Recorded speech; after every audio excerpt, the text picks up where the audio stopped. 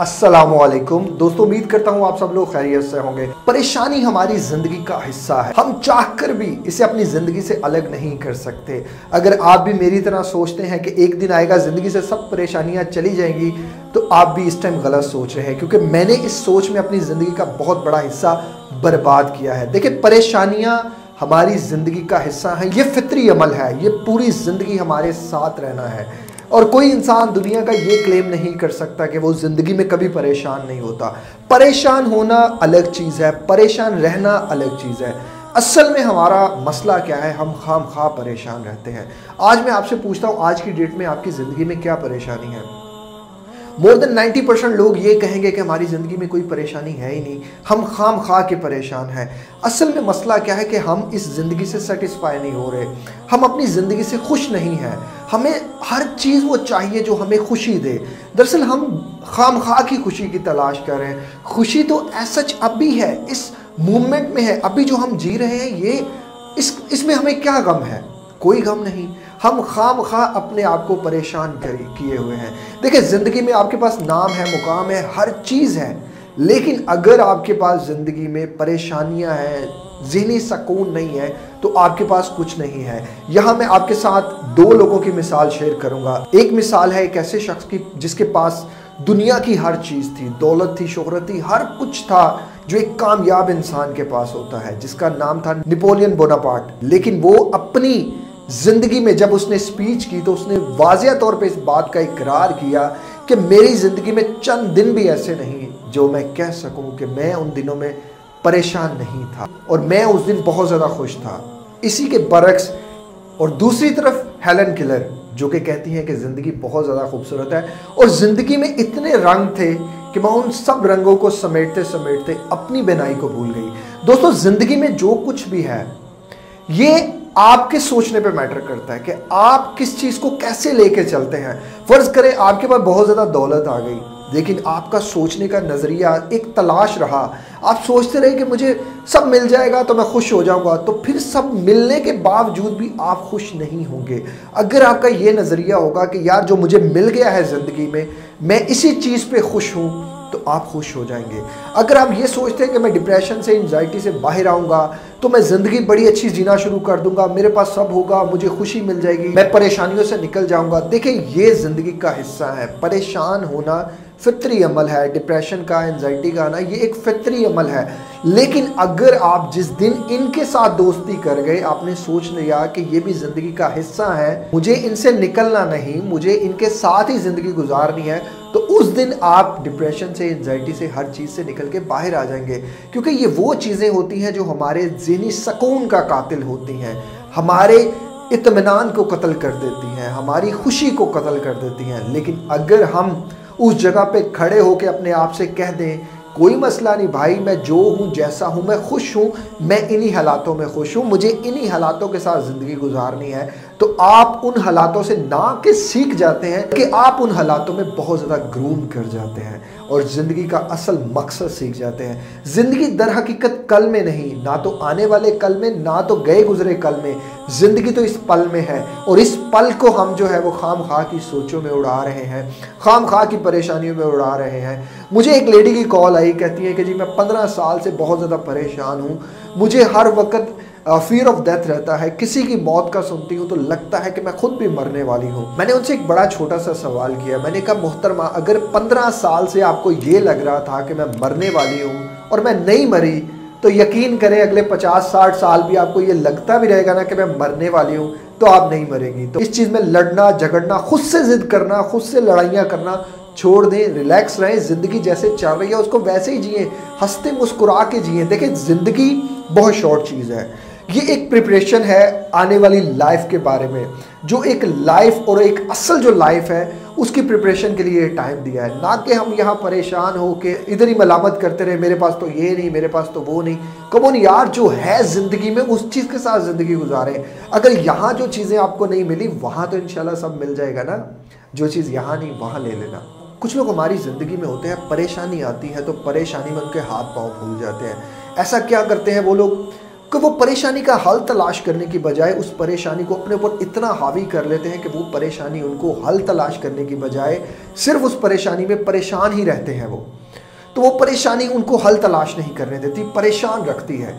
असल में ऐसा इंसान के साथ इसलिए होता है, यहाँ मैं आपके साथ एक एक मैजिकल फार्मूला शेयर करूँगा। ये मैजिकल फार्मूला मैंने डेल कार्नेगी की बुक से लिया है। How to stop worrying and start living अच्छा इसमें डेल कार्नेगी एक शख्स का वाक्य बयान करते हैं, जिसने ये फार्मूला इन्वेंट किया। उस शख्स का नाम था विलियस एच कैरियर, जो था वो एक इंजीनियर था। लिखता है कि जब मेरी ज़िंदगी का पहला प्रोजेक्ट मुझे मिला, उस प्रोजेक्ट में जो कंपनी ने मुझे वादे क्लेम किए थे, वो वादे पूरे नहीं हुए।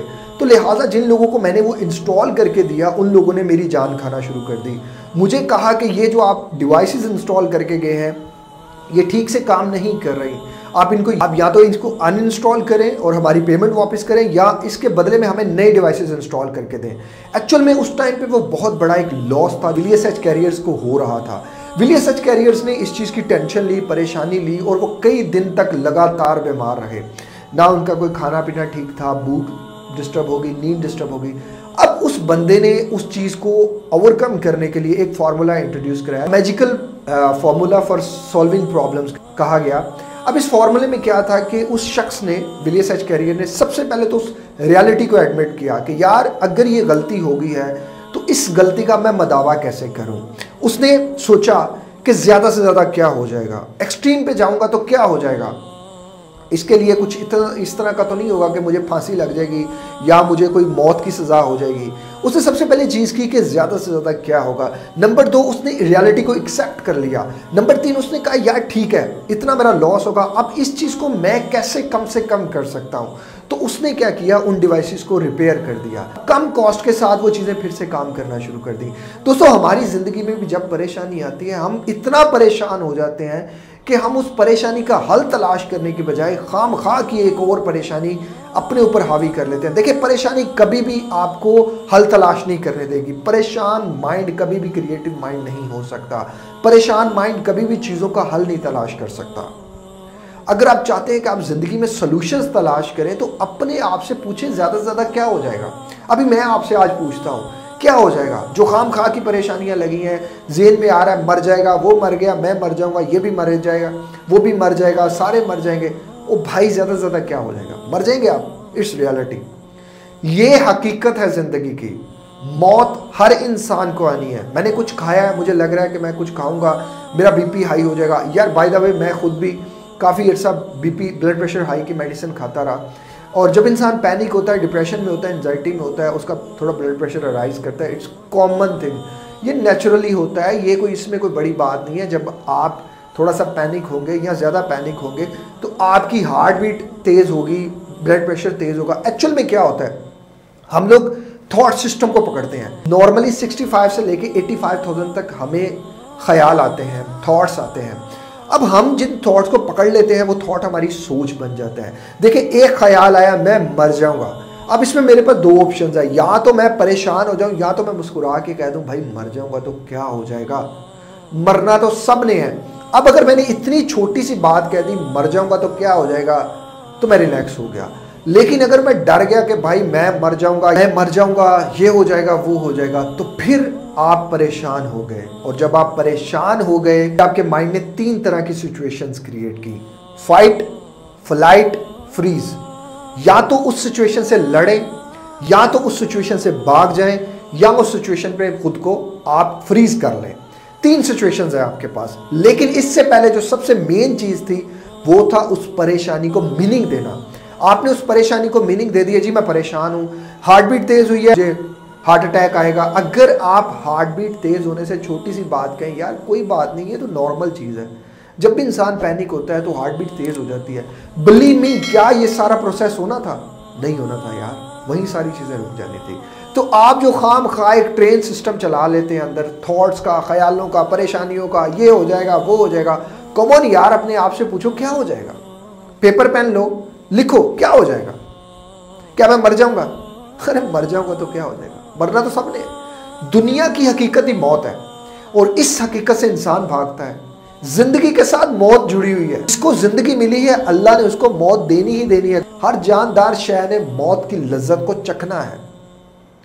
तो ये रियलिटी है। रियलिटी से भागते रहेंगे तो ता हयात भागते रहेंगे, कुछ भी नहीं मिलने वाला। कुछ भी नहीं मिलने वाला।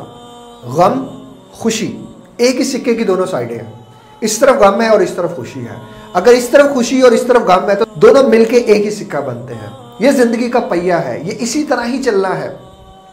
अगर आप सोच रहे हैं कि ज़िंदगी में एक वक्त आएगा, मैं दौलत, शोहरत, पैसा कमा के, मैं बहुत ज़्यादा गाड़ियाँ इकट्ठी करके फिर मैं खुश हूँ नॉर्मली हम लोग यही सोचते हैं कि मैं तब आराम करूँगा, तब मैं खुद को टाइम दूँगा। बिलीव मी तब हम इंसान खुद को टाइम नहीं देता, तब फिर डॉक्टर्स को टाइम देता है। और उनसे टाइम लेता है। सर अपॉइंटमेंट है आज की। आज मैं आ जाऊँ आपके पास? आज के प्लान करें, आज इस वक्त को प्लान करें, इसमें ज़िंदगी है, इसमें जिए। अभी में जो है, यही सब है। इसी वक्त में रह के जीना है हमने। खाम खा आगे की दौड़ों में दौड़ते जा रहे हैं। अरे यार, आगे दौड़ते रहेंगे तो आज कौन जिएगा? कल की दौड़ में रहेंगे तो आज कौन जिएगा? इस वक्त को कौन जिएगा? और ज़िंदगी ना तो कल में है, ना तो कल में है। ज़िंदगी आज में है, इस पल में है। इस पल को जिए, जी भर के जिए, जो जेन में ख्याल आता है, परेशानी आती है। मैं नहीं डरता किसी चीज़ से। जो होगा, देख लूँगा मैं। कोई बात नहीं। मुझे नहीं फ़िक्र किसी चीज़ की। और दोस्तों, अल्लाह ताला का एहसान करते रहें। जितनी चीज़ों पे हो, एहसान करते रहें। जो कुछ अल्लाह ने दिया है, खुशी से जिए। ज़रूरी नहीं यार, हर इंसान मल्टी मिलेनियर हो। ज़रूरी नहीं हर इंसान के पास गाड़ी हो, अच्छी सेहत हो, हर चीज़ हो। देखिए, आपके पास जहनी सकून हो। आपका अगर रंग लाल भी नहीं, काला है तो जहनी सुकून हो। आपके पास अगर बहुत ज़्यादा जोड़े नहीं हैं अच्छे अच्छे कपड़े नहीं हैं तो कोई बात नहीं, दो हैं, सुकून है अच्छा है। अगर हमारे पास, अगर आपके पास ज़िंदगी में अच्छी गाड़ी नहीं तो कोई बात नहीं, छोटी है, जैसी भी है, गुजारा है। अच्छा है, अल्लाह का शुक्र है। अगर आपके पास ज़िंदगी में बड़ा घर नहीं, छोटा तो है ना। अगर आपके पास ज़िंदगी में प्यार करने वाली बीवी नहीं तो क्या हुआ? बीवी तो है ना। उनके पास उनसे जाके पूछे, जिनके पास बीवी नहीं है। ज़िंदगी में आपके पास जो भी है, जितना है, थोड़ा है, जैसा भी है, उस पर सब्र शुक्र करें। और जब आप सब्र शुक्र करेंगे ना, अल्लाह एक तो ज़्यादा कर देगा उस चीज़ को और आपके अंदर एक अंदर से खुशी का एहसास आएगा। देखिए, खुशी तलाश का नाम नहीं है। खुशी खुश होने का नाम है। अगर मैं ज़िंदगी में तलाश में रहूँगा तो खुदा की कसम सारी ज़िंदगी में खुशी से दूर रहूँगा। लेकिन अगर मैं ज़िंदगी में कहूँगा कि मैं अब भी खुश हूँ मुझे अभी मुस्कुराना है, ना कि मुझे कल मुस्कुराना है, मुझे आज अभी इसी वक्त में मुस्कुराना है तो मैं खुश हूँ। मेरी ज़िंदगी में आज की डेट में कोई परेशानी नहीं। तो मुझे लिहाजा परेशान होना ही नहीं है, मुझे परेशान रहना ही नहीं है, और जब मैं परेशान नहीं रहूँगा तो मैं फिर खुश होता रहूँगा।